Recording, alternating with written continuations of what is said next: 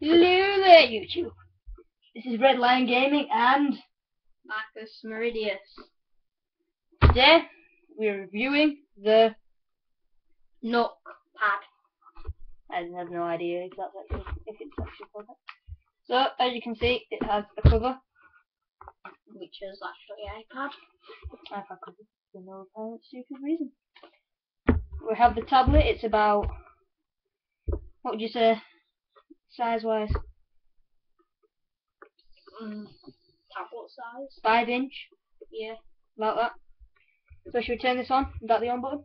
Uh, yeah. and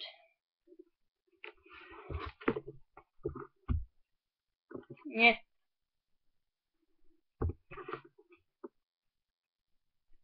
And as you can see, we have the normal display if you want to demonstrate how it works.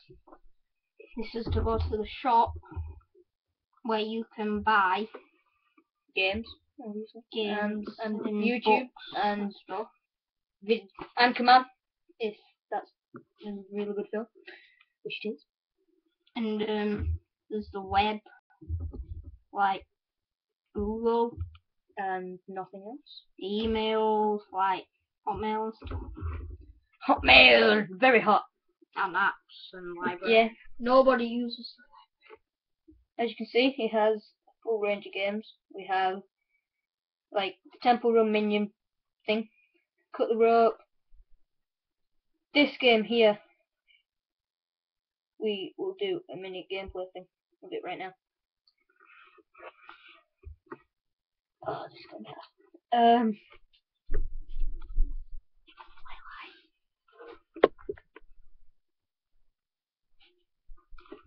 Um, so yeah, campaign to this game. It's like a zombie Minecraft shoot 'em up sort of thing. I am playing upside down like a badass. I have no idea where I'm going. Um, anyway. Quality is good, Mm. very good.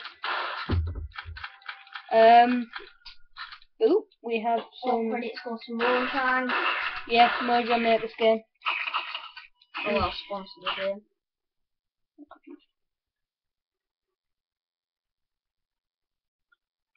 Well, um, so yeah, very nice tablet. Hold it in one hand. Um,